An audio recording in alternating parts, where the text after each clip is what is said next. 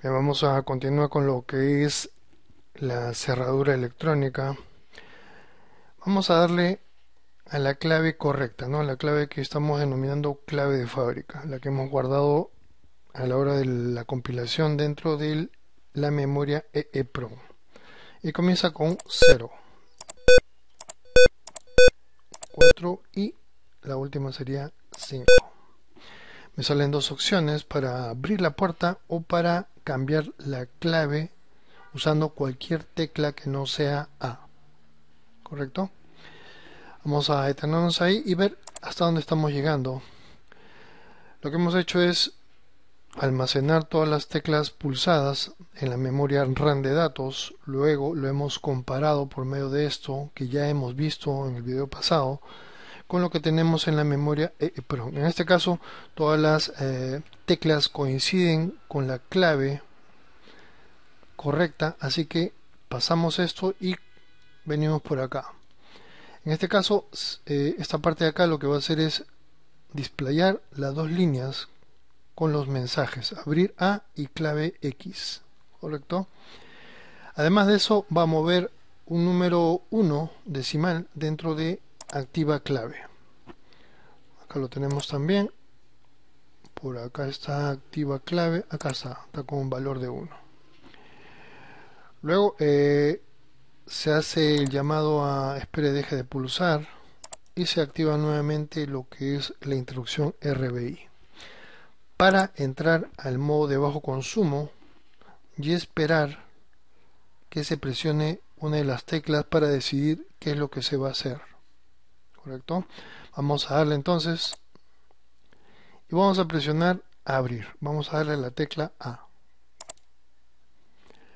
Luego entonces va a haber una, como hay una interrupción, nos vamos al vector de interrupción,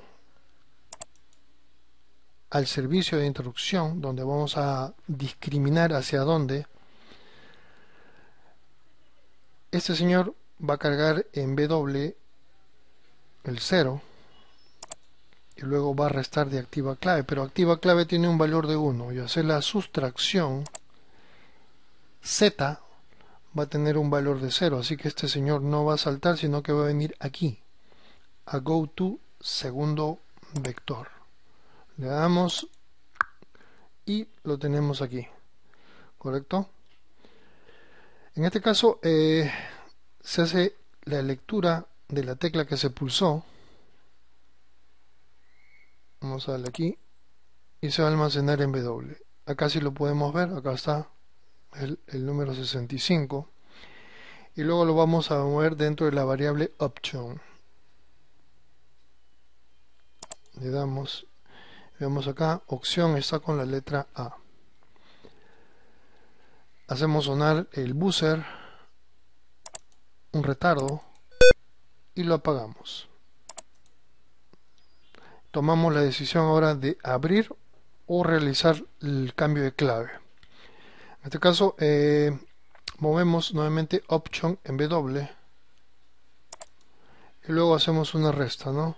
Vamos a restar de la letra A, que está entre comillas, Como es la misma, vamos a, a darle, como es la misma, Z va a tener el valor de 1. Y entonces, este señor de aquí no va a venir acá a cambiar clave, sino que va a saltar acá abrir la puerta. Viene acá, borra la pantalla, se coloca el cursor en la línea 1, se coloca este mensaje, ahora mejor dicho, la dirección de este mensaje en W, para luego escribirlo en el display. ¿Correcto? Por último, se coloca a 1 la cerradura salida de tal manera que se cierra el contacto para que la puerta se pueda abrir ¿no? vamos al retardo. Venimos con el retardo que son 3 segundos en este caso que la puerta va a estar abierta. Le damos luego un segundo más y listo. se vuelve a aperturar, ¿no? Eh, se limpian estas dos variables ¿no? y estamos ya en inicializa todo como cuando comenzamos ¿no?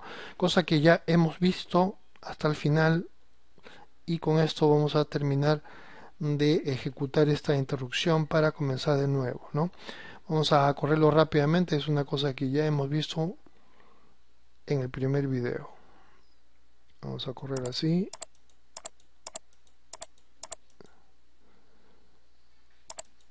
Fin de interrupción.